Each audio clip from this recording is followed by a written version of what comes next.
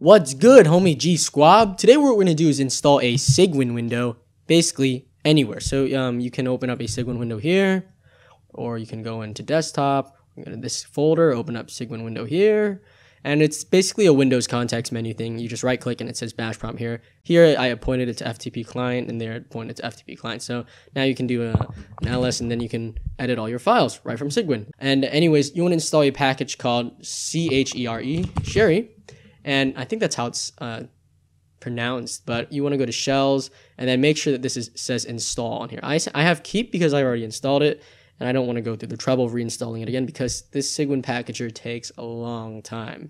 Anyways, go ahead and close it out. I mean, sorry, not close it out. Go ahead next and uh, make sure that you install everything because I'm going to close it out because I've already installed it, as I explained prior to this. So what you want to do now is you want to go to the place that you installed Cygwin. So for default users, that's local C and then Cygwin.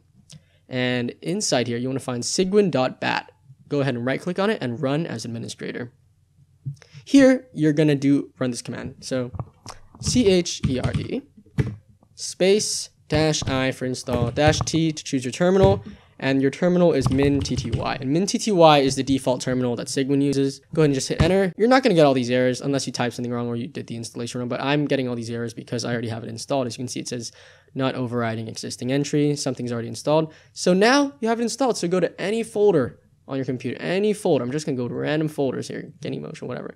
Right click here and hit bash prompt here and Cygwin will open up pointing to that window. And then you can go ahead and make sure that you're in the right directory and you can have access to all the files if you have the permissions.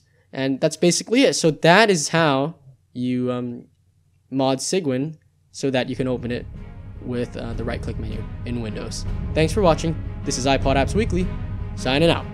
Peace, y'all!